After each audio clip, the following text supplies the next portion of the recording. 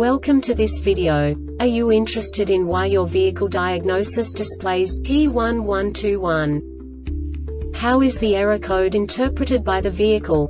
What does P1121 mean, or how to correct this fault? Today we will find answers to these questions together. Let's do this.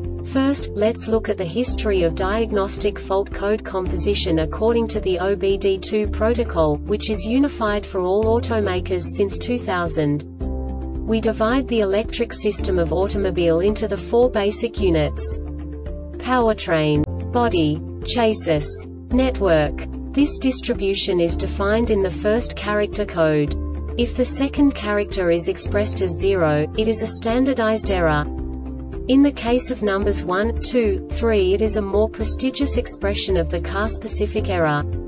The third character specifies a subset of errors. The distribution shown is valid only for the standardized DTC code.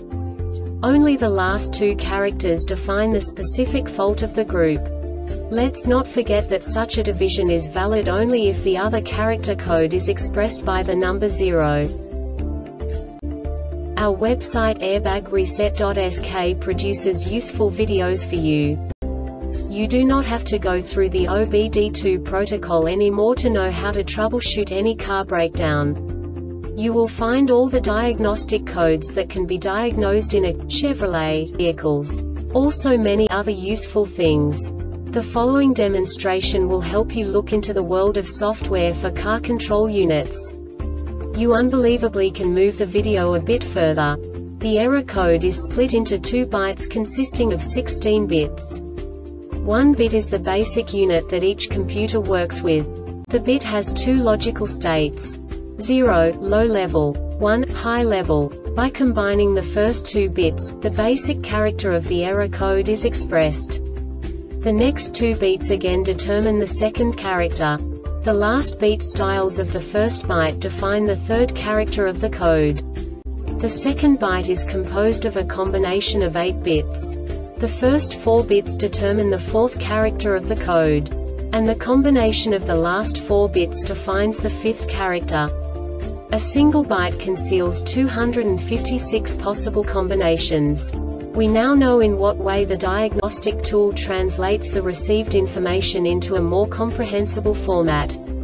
The number itself does not make sense to us if we cannot assign information about it to what it actually expresses.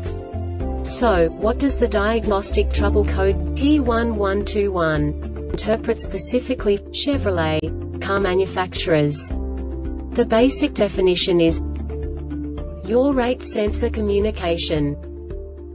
And now this is a short description of this DTC code. Communication failure between yaw rate sensor and VDCCM ABS and VDC are inoperative. This diagnostic error occurs most often in these cases. Bad wiring harness open or short circuit temporary poor contact. The Airbag Reset website aims to provide information in 52 languages. Thank you for your attention and stay tuned for the next video.